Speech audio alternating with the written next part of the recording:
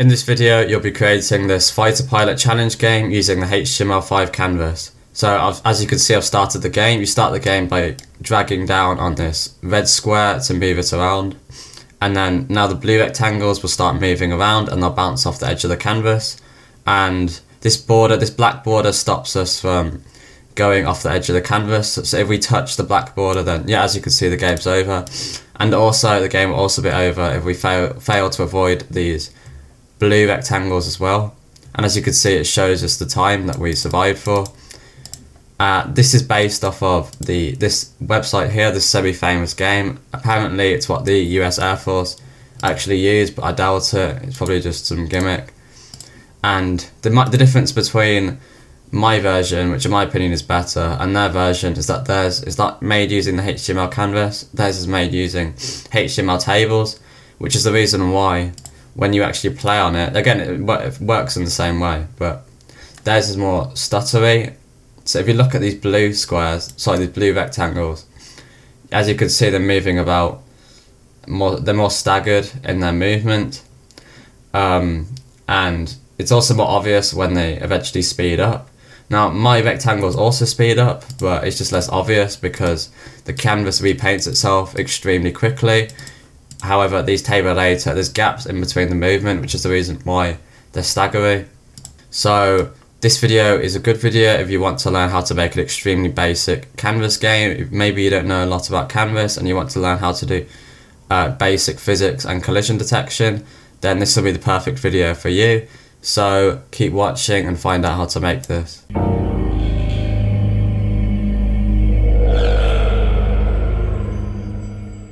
Okay, so I've just launched VS Code in a new root project folder, but you can use whatever source code editor that you want.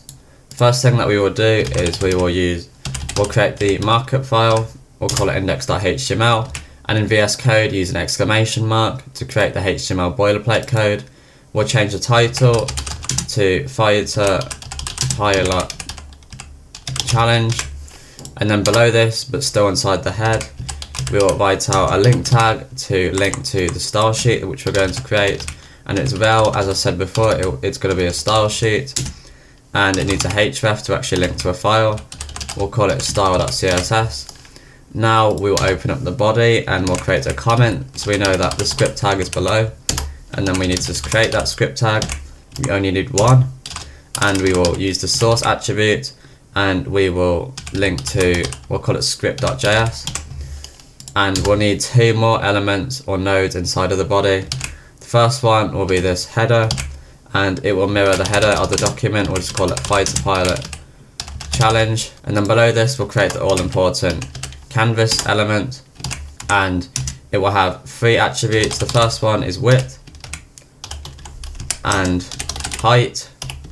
Now we don't specify units for these 600 numbers because it's pixels by default. And then the last one will be ID and that will be canvas.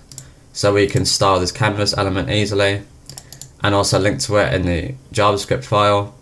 So now we'll need to create the style sheet. So we'll call it style.css. And the first thing that we will do in this element, we will open up the style like that. So this will target all elements for styling and we'll set all the elements box sizing to border box. So include the margin and padding in the final width and height values.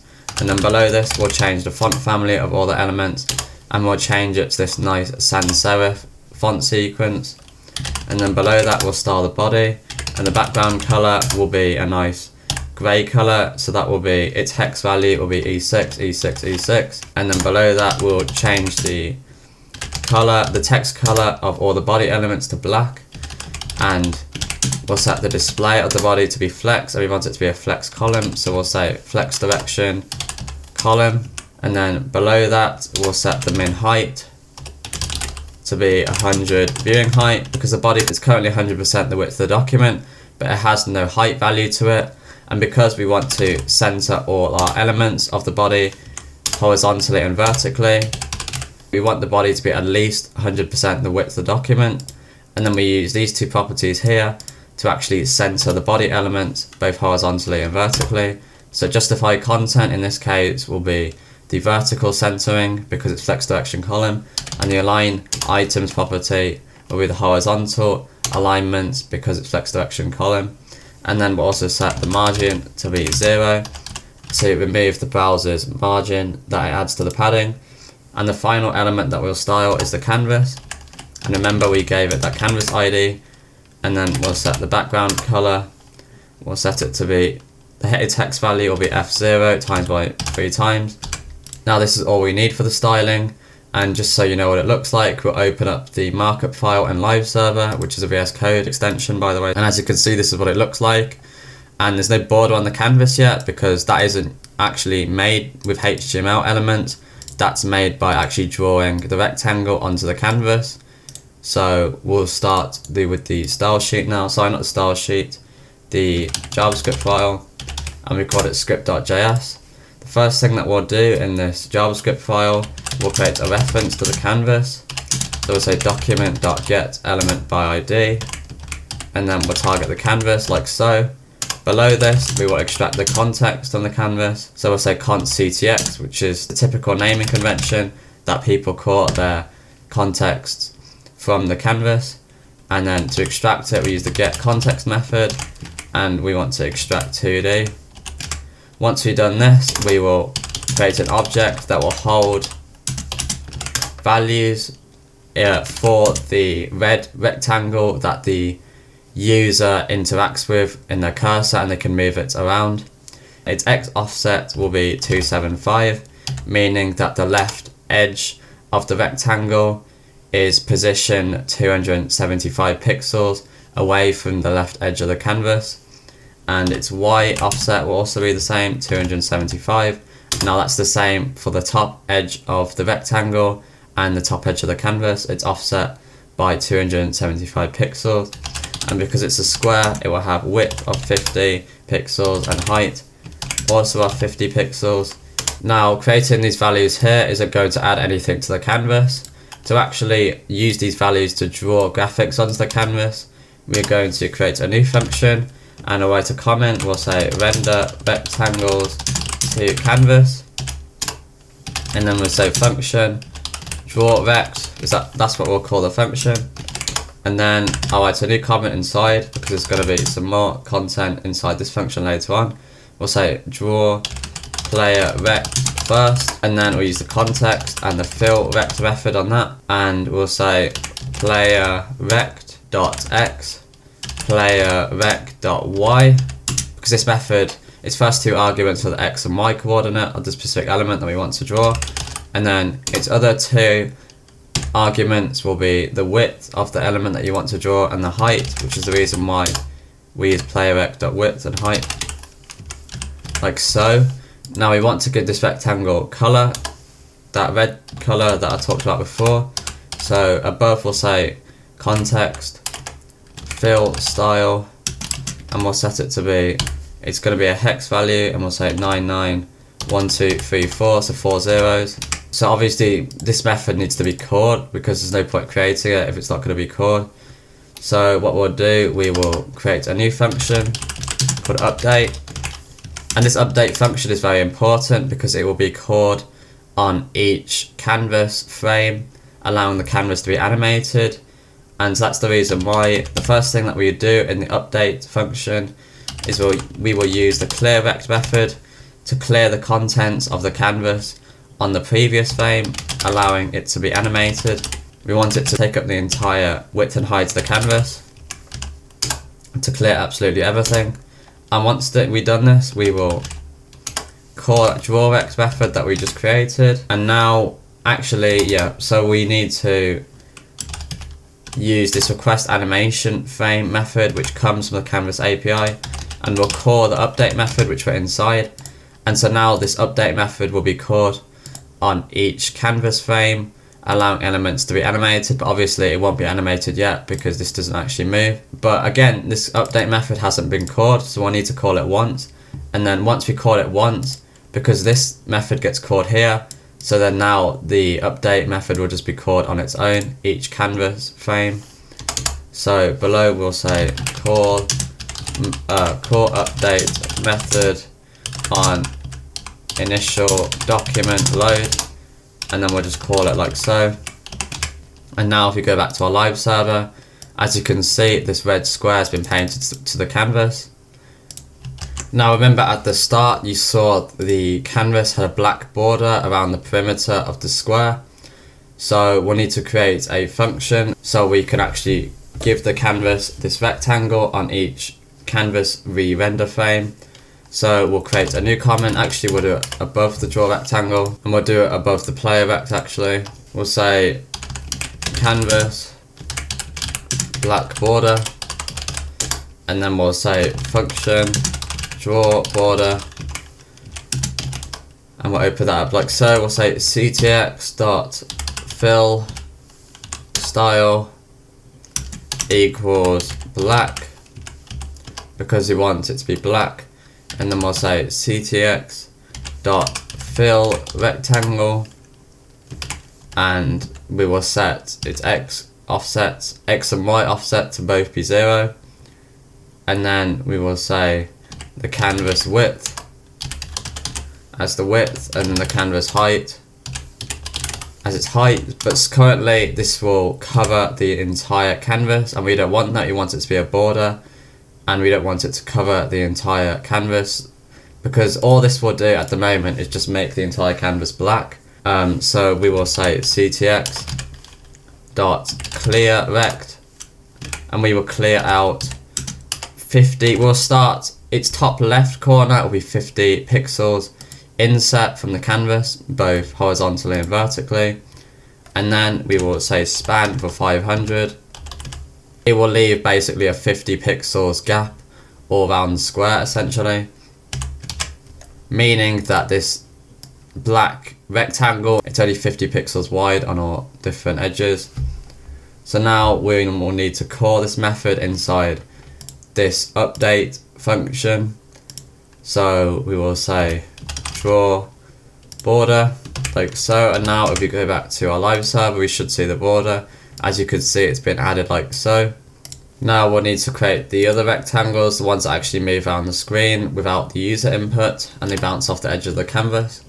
So we'll say game elements and then we'll say let rectangles and it's going to be an array because there's more than one this time an array of objects just like this player rect was so and then we'll say it will also follow a similar format but not entirely so this one, this will be the top left rectangle and we'll position it accordingly. And we'll have its dx, we'll say 5 and then its dy will be 4. Whoops. You'll see why in a second, but basically we want it to travel faster towards the right more than it does travel downwards. So basically what this would do, it'll be pushed towards the right but at an angle basically. And have we'll say width. It's, okay, this is this one's going to be a perfect square. So width 75 and height 75, um, and then we'll create the other one. So this one will be the top right rectangle, and then we'll say actually no, we'll give it a color of we'll use a hex value. We'll say four zeros and then nine nine like so, and that will create the blue color. For the other object, this one will be Uh, it'll be moved further towards the right on the x-axis but in terms of its distance from the top of the canvas that will be the same. And then this one we have a dx of minus 5 this is because we want it moving towards the left which is the, the reason for the minus number.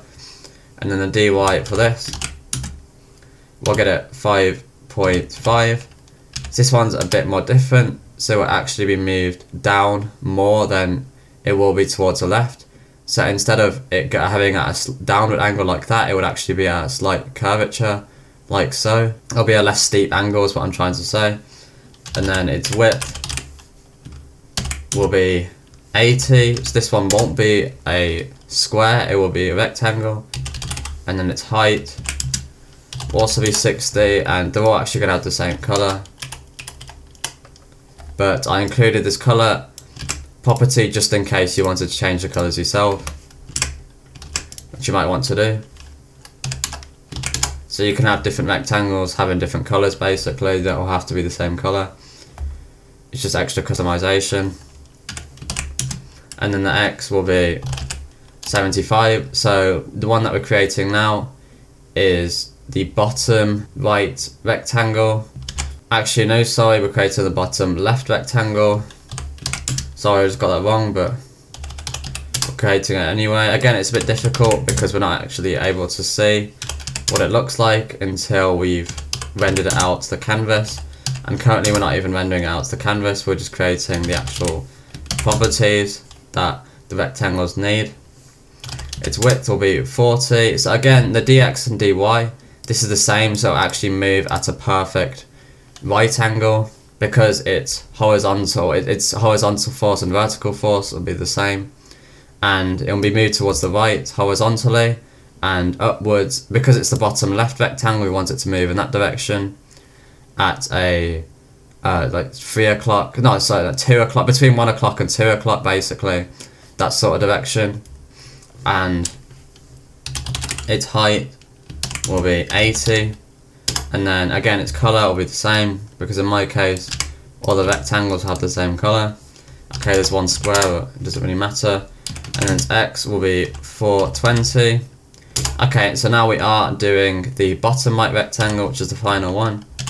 So its x will be 420 y will be 450 dx will be minus 5 dy will be minus 5 because we want this one moving towards the left and also towards the top.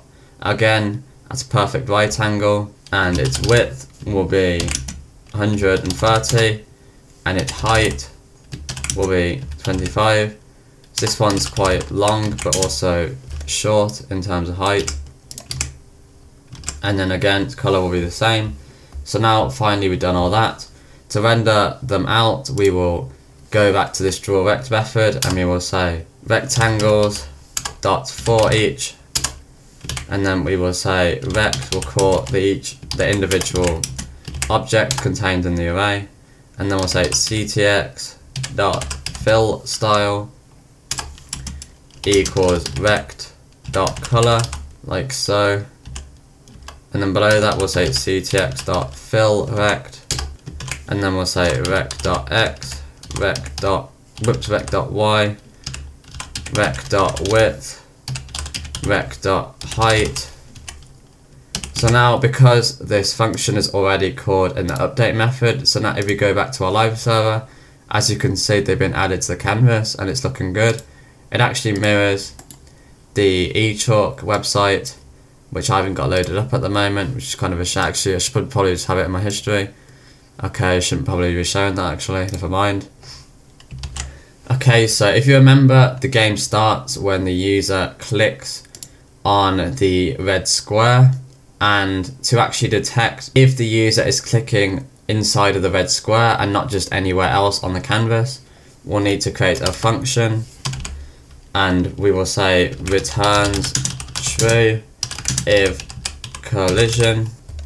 Actually no we'll say if user if mouse is in rectangle you player rectangle and then we'll say function is cursor in rect and it will take three arguments x y and rect and then we'll say return open up parentheses we'll say so if x is greater than rect dot x so in other words if the x coordinate of the mouse is greater than the left edge of the rectangle then obviously well I mean it could either be inside or it could be towards the right of the right edge of the rectangle which is the reason why we say and yes yeah, so sorry we don't use a comma there we say and x is less than rect dot x plus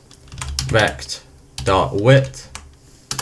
So now it can't be past the actual rectangle itself because if it's less than the right edge of the rectangle, we work out the right edge of the rectangle by getting the x offset of the rectangle and then adding whatever its width value. So it can either be inside in terms of horizontally it can it has to be inside of the rectangle for this function to return true. Obviously we need to handle the vertical cases because horizontal detection isn't enough obviously.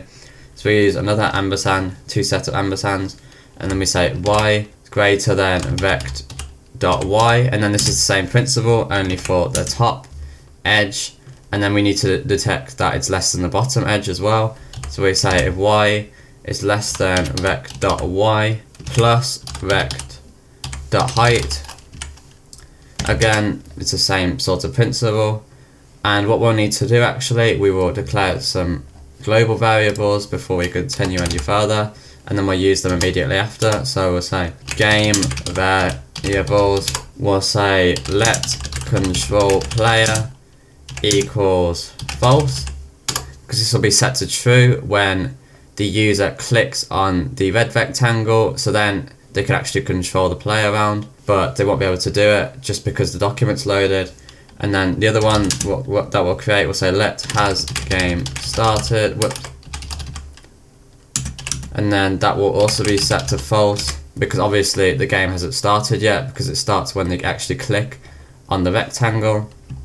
So I'll scroll down so I can add some event listeners. So I'll say canvas because we're adding it on the canvas dot add event listener and it'll be a mouse down event so not a mouse click event because we want this callback to be activated regardless of whether the user's dragging or whether they're clicking or anything like that. And then we will say get x and y coordinate in relation to canvas. So we have this event argument here and we can get the x and y values of the cursor from this event object. However, we want it in relation to the canvas because we are interacting with elements in the canvas. So we will create an object called pos short for position. We'll say e client and then we'll say minus canvas dot offset left. So get the x position of the cursor when this event callback was activated and then minus that by the distance from the left of the document that the left edge of the canvas is. So now this value will be adjusted in relation to the canvas essentially. And then we'll do the same for the vertical. So we'll set e dot client y minus canvas dot offset top. Then below this we will create a comment. We'll say C if say if they clicked on the red square in particular. And then we'll say if is cursor in rect and then pos.x pos.y and then player rect so here will be the x and y coordinates and then the player rectangle remember that object there? And then this is that function that we just created and so if it does return true then we will open up curly braces and then we will say set has game started we'll set that to true and we'll also set control player to be true as well. To actually move the player around we will create a mouse move event listener but before we do this we actually need to create another global variable. We'll a new comment we'll say just to, to prevent game from working while page reloads. And then we'll say let has game over. The importance of this will become more clear later on but we'll just create it for now because it is actually used in the following event listener. So we'll say canvas.event listener we'll add event listener? Mouse move. So whenever the mouse moves. And then we'll open up the callback like so with the event argument.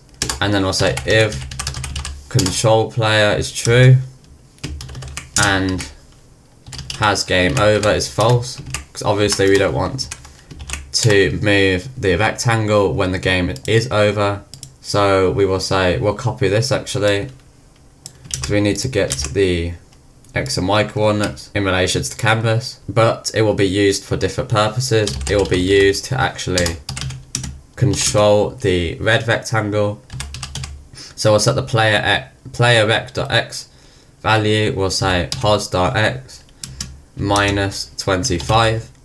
Minus 25 because if you remember, the player rect.x was 50 and 25 is half of 50.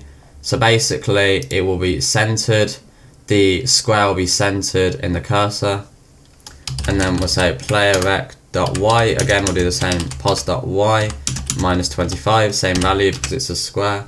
And then one final thing, we'll say canvas dot final event listener added to the canvas. We'll say mouse up. This one doesn't need access to the event argument. All we'll say then is control player equals false. So they will no longer be able to move around the red rectangle because it's now set to false. So now go back to live server. Again, it won't work. We click anywhere else on the canvas, it's not going to move anywhere. But we click on this and now we can move it so long as we've held down the mouse click and then as soon as we release the mouse click again it's left where it was before and as you can see if we click on the edge yeah it centers we move it around on the center and this is good. Obviously nothing else is working but we will continue with our JavaScript. So we want to be able to detect when the user when this red rectangle is hitting this black border here because if it does then we want to end the game. So we will go back up and below this we'll create a new function. We'll say well actually we'll create the comment first? We'll say detect whether player makes contact with border. And then we'll say function player collision detection like so open that up. And then we'll say if and actually this will be on a new line because it's quite a long if statement player player vect dot x plus player vect dot width if that is greater than 550 550 because remember the canvas in total is 600 and the border has 50 pixels width all around so if the right edge of the rectangle is touching the left edge of the black border, then this if condition will be met. And then we'll do the same for the left edge of the rectangle. And then we'll do the same for the y-axis. So playerrect.y plus playerrect.height is greater than 550. And then we'll say playerrect.y is less than 50, like so. And then these double pipes, they're or. So if any of these conditions are met, then we'll call a game over. Yeah, so we'll call a game over method. This game over method hasn't been created, but we're going to create it shortly. But we will actually call this player collision detection method, what to call it in the update method. So it gets called on every render frame of the animation. As for the game over function, we will create that but actually we will create another global variable we'll say let start date equals null for now this is the final global variable. This start dates variable will hold a date value and we only want it to get initialized though not on document load but when the game actually starts. So to detect when the game starts we will go all the way down to our mouse down event listener and inside this if statement we'll create another if statement. It will say start timer in a comment and then we'll say if has game started. Because it get has game started gets set to true just below. So this if condition will only be met once. And then set start date equals new date. So now when we calculate the time difference, it will be based off of when the user actually started the game and not when the user loaded the document. And then we'll actually need to create the game over function. So we'll say function game over at the start. And then we'll say if has game over. Then we'll need to set the game over, but there's more logic than just changing the bo the boolean. We need to declare let end date, so capture the date when this if condition was met, and then we say let time difference, it's the difference between the end date and the start date, equals end date, the bigger value minus start date, because otherwise, if we do it the other way around, we won't get the time difference, we'll just get a negative number, and then we say if time difference less than 60,000. This is because the time difference will be given in milliseconds and one minute is the same as 60,000 milliseconds because remember there's a thousand milliseconds. That makes up a second and obviously 60 seconds a minute I'm sure you know obviously. And then alert. We will so uh, if it's less than a minute then we can say seconds. So we'll say you survived time diff divided by a thousand seconds so how many seconds were in the time diff? Milliseconds. And then that will be the correct calculation for the seconds. And then after this we will say has game over because it's over now.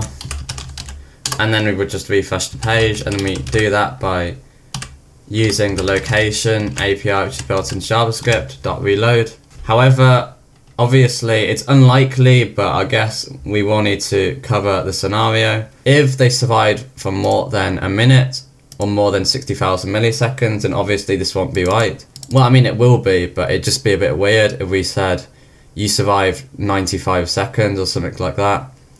So we will need to actually convert the milliseconds into minutes. So 1.0 three five seconds, something like that. So we will say above this game over function, we'll say function milliseconds to minute, and then it will have an argument of millis to represent the milliseconds, and then we'll say let minute equals math dot floor.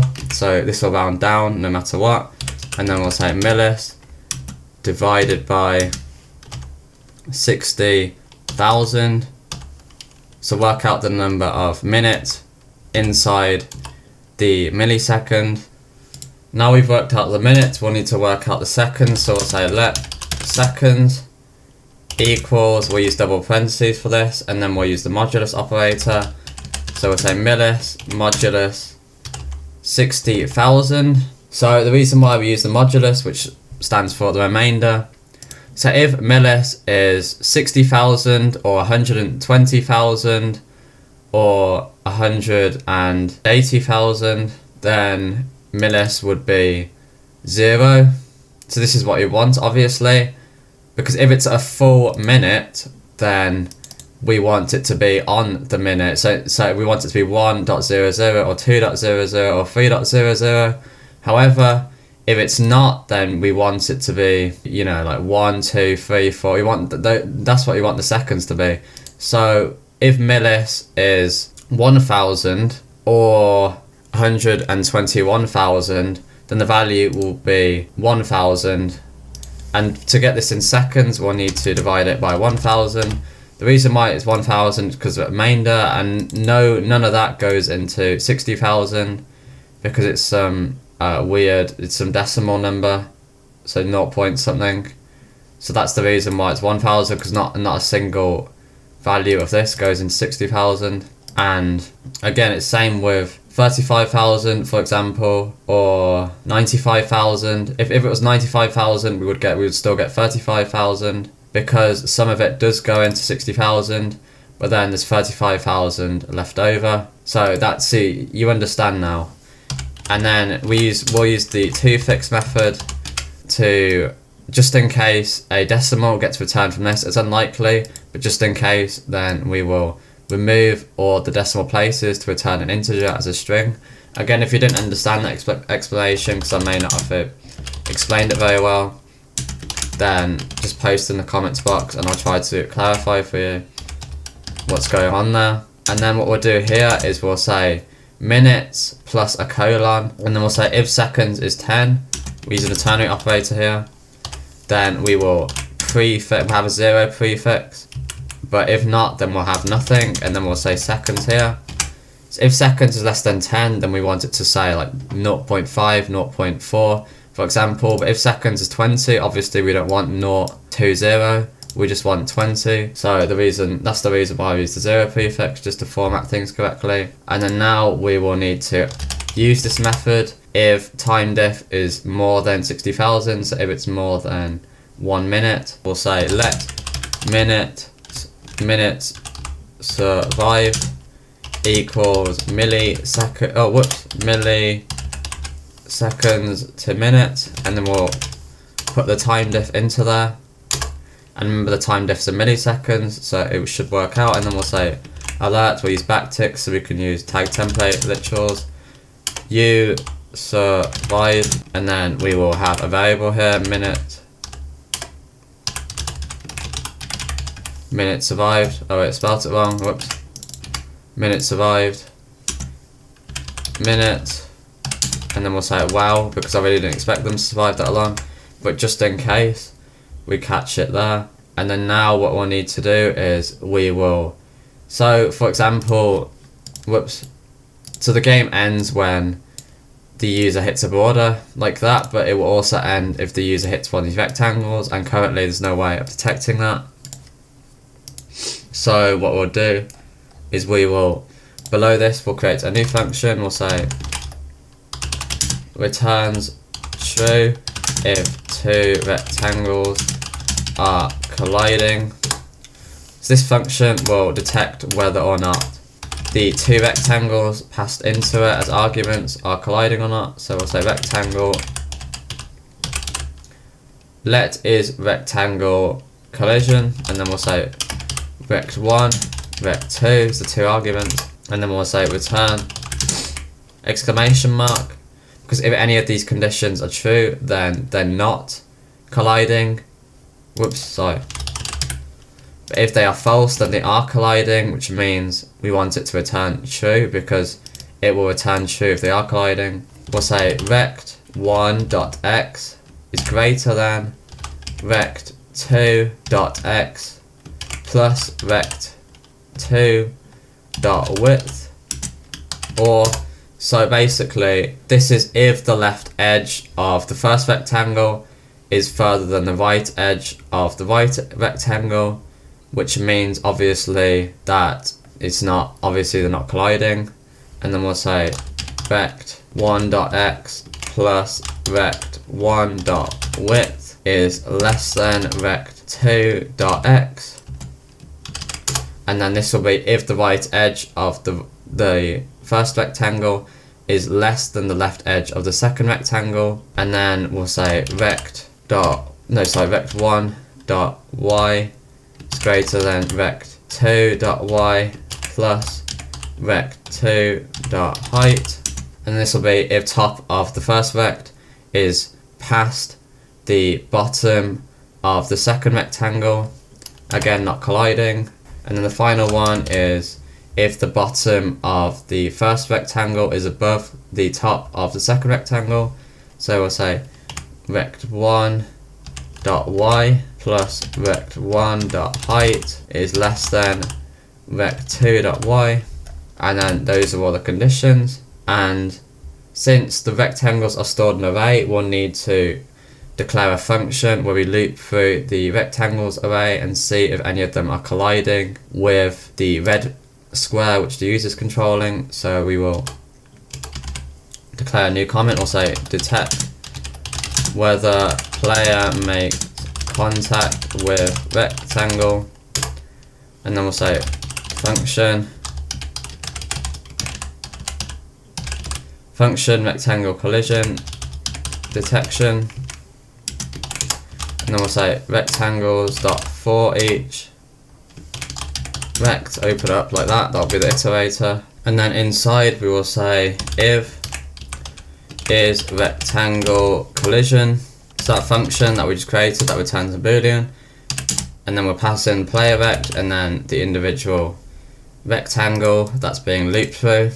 And then, so if it does return true, then there's a collision. We'll call it, we'll call game over then.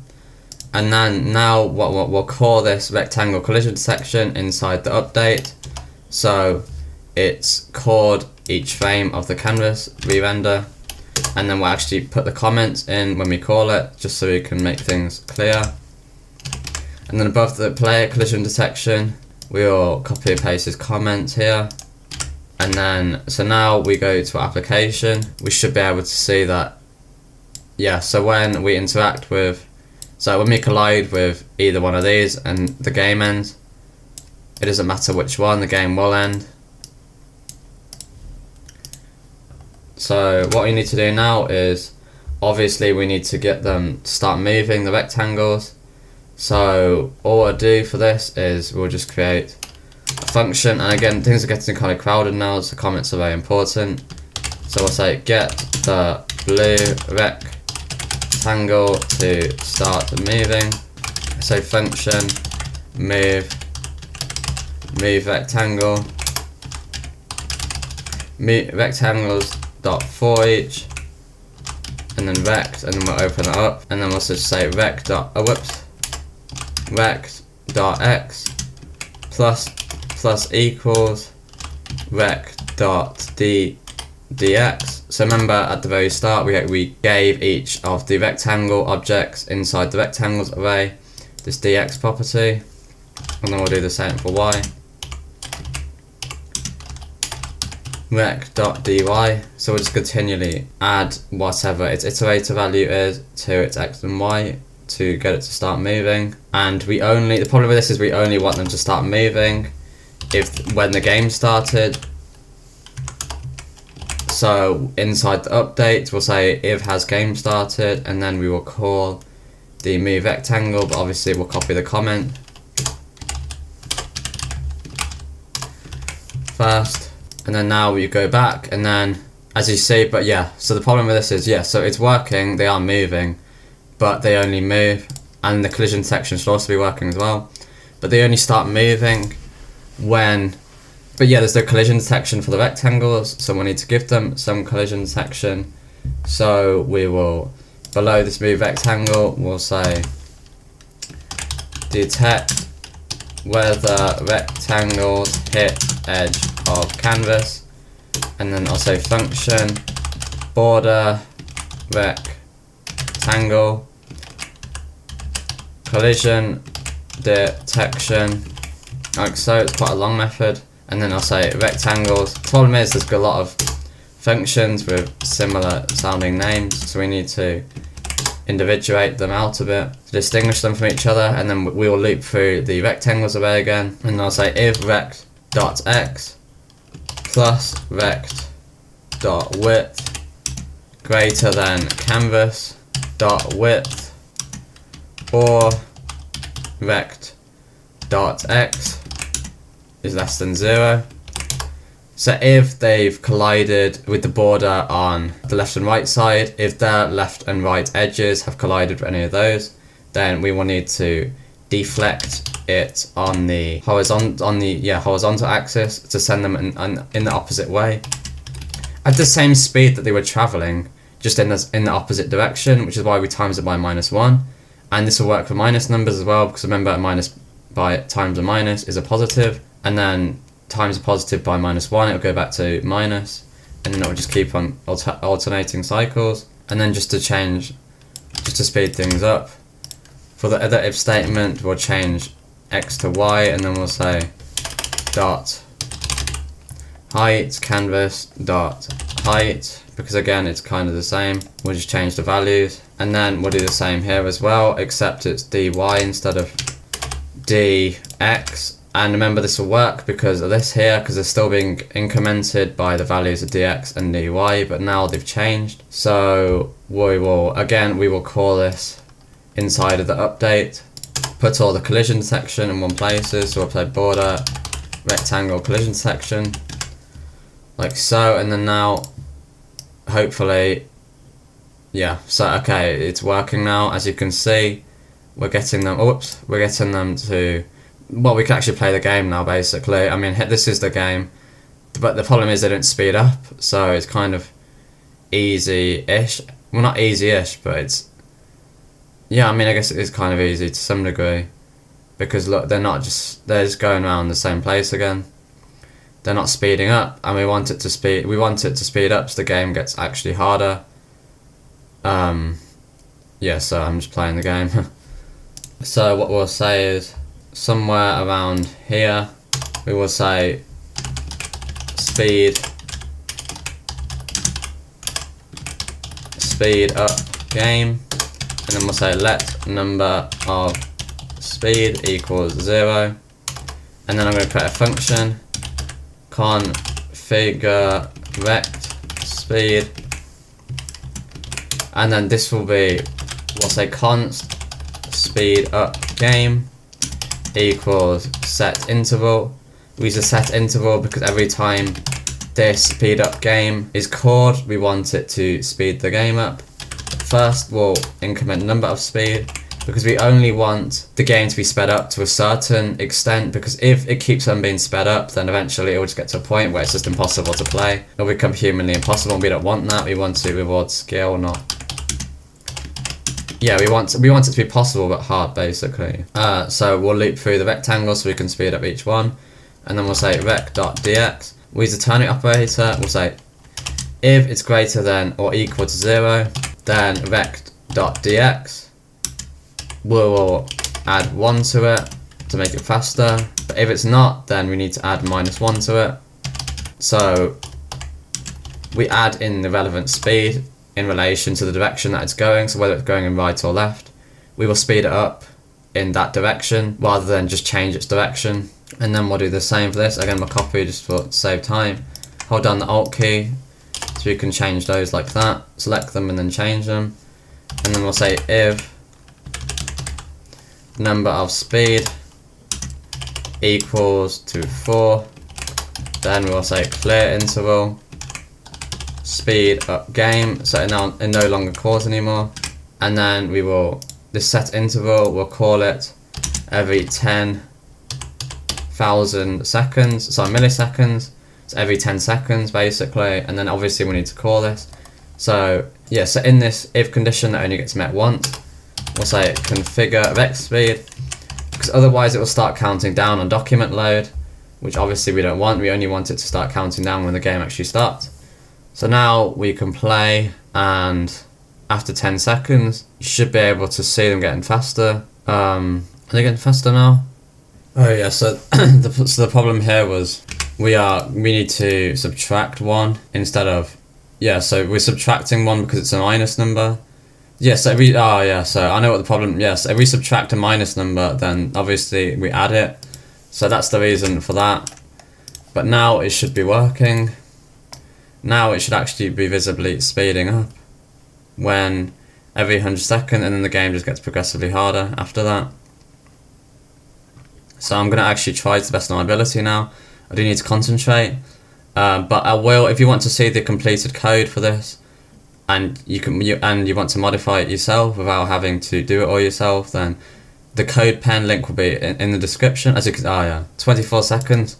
See, that's the reason why it's very unlikely that they make it past to 60 or even hot, or even 30 seconds. But yeah, like I said before, CodePen. I'll post a link to this CodePen project in the description for you to look at and modify and copy. You can do what you want to it. And I hope you enjoyed this tutorial. I hope you benefited from it and peace out.